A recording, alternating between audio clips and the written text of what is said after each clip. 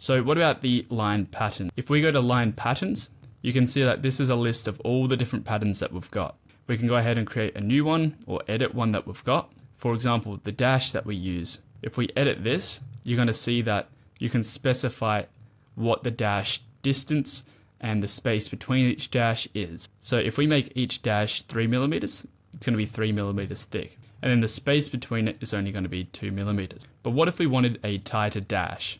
You can see that we've actually got a dash tight here, but it's still only three millimeters thick. And then the distance between the space is a little bit smaller. So I'm going to actually create a new line pattern and we're going to call this dash tighter. And under the type, we're going to make a dash we're going to make the value one millimeter, and then we're going to have a space with a value of one millimeter.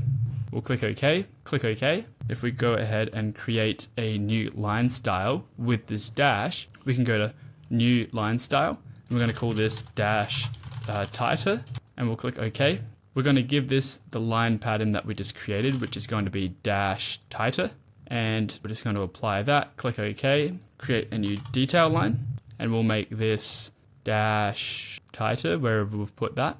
And you're going to see that that dash is now one millimeter in distance in length with a space of 1 millimeter between. Them. If you'd like to get access to all of the course files, materials and resources, as well as 20 hours of ad-free content, you can feel free to check out the full course on my website.